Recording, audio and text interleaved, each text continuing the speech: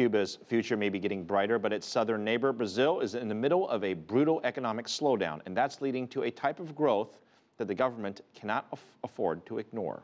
Paulo Cabral explains.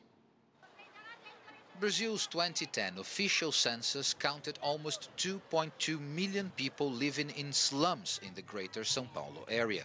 There's been no official tracking of the population since then, in many areas there's been a clear surge of arrivals as the country's economic crisis has worsened, causing unemployment and inflation to go up.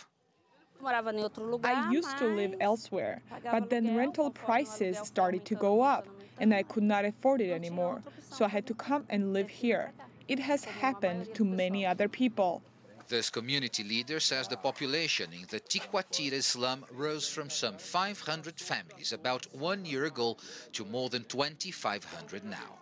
With the growth in unemployment and rise in interest rates, lower classes have more difficulties to buy their houses, and the government's budget cuts have affected subsidized housing programs for the poorest, so all solutions have been postponed.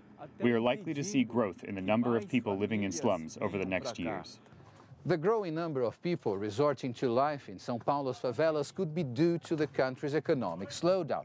However, Urban planning experts and municipal authorities say this city's housing shortage is a serious problem that needs to be addressed with long-term solutions.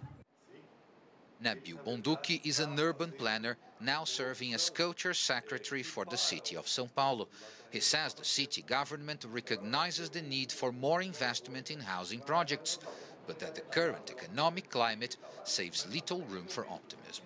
É claro que a atual crise econômica. With the growth in unemployment, more people from different parts of the city are moving here because there was space. But now we have decided we won't allow more families to settle here because there's simply no more room.